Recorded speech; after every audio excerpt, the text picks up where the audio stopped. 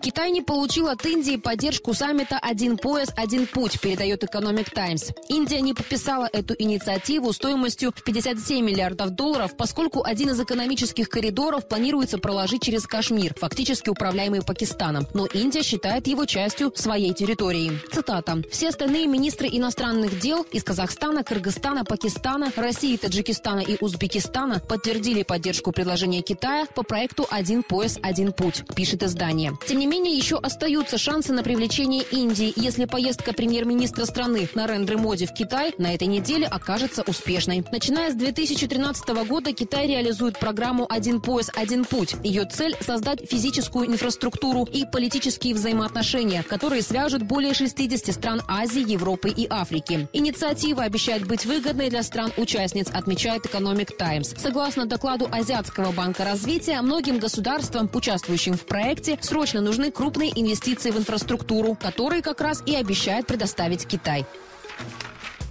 Британия стремится в ракетостроительную индустрию, пишет CNBC. Журналист Мартин Шиц отмечает, у страны уже есть плацдарм для производства космических спутников, однако теперь она пытается продвинуться в строительстве ракет, которые их запускают. Космическое агентство Соединенного Королевства, которое сотрудничает с британскими компаниями, в ближайшие 12 лет увеличит свою долю в этом секторе. Сейчас она равняется 6,5% и оценивается в 350 миллиардов долларов. К 2030 году этот показатель достигнет 10%, утверждает Клэр Барчем, директор программы по запуску спутников. Цитата. «Единственное, чего нам пока не хватает, это самих запусков. Космическое агентство Соединенного Королевства хочет сделать Британию европейским центром для небольших спутников. Мы осознаем необходимость двигаться быстро», говорит Барчем. Великобритания в настоящее время производит около 44% малых спутников в мире и может управлять ими. Но в стране нет космических кораблей или пусковых установок для выведения спутников на орбиту. В ближайшие пару месяцев месяцев агентство, как ожидается, объявит миллионные гранты на разработку пусковых установок. Чтобы добиться роста, организация работает над привлечением компаний по производству ракет, которые специализируются на запуске небольших спутников. Сюда относятся как традиционные ракеты с вертикальным запуском, так и новые воздушные пусковые системы, а также транспортные системы для скоростных поездок по всему миру.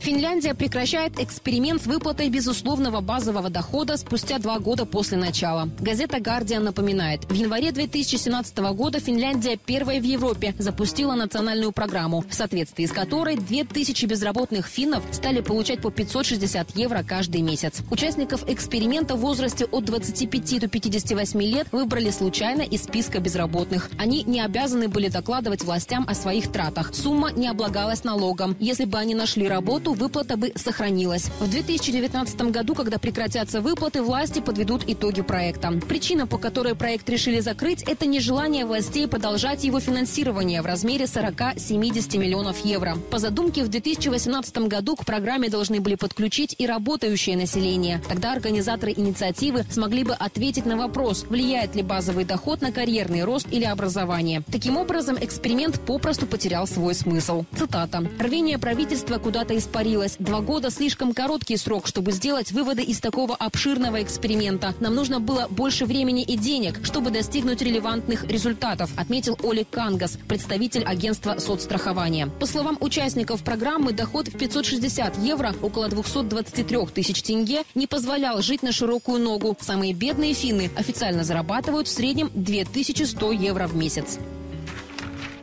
Журнал «Нью-Йоркер» рассказывает о том, как японцы, потерявшие семью, справляются с одиночеством. В стране набирает популярность услуга аренда родственника. На сайте Family Romance можно заказать себе жену, ребенка или другого члена семьи, указав его характеристики – возраст, рост и так далее. Стоимость услуги около 40 тысяч иен, примерно 400 долларов. Издание рассказывает историю японца по имени Нишида, жена которого погибла, а дочь ушла из дома. Новые жена и дочь, которых мужчина заказал на сайте, сначала изображали утраченных членов семьи семьи. Затем подружились с Нишидой и дали ему советы, которые помогли примириться с утратой супруги и наладить отношения с родной дочерью. Основатель Family Romance Юичи Иши говорит, цель его компании сделать так, чтобы никто никогда не нуждался в ее услугах, пишет Нью-Йоркер.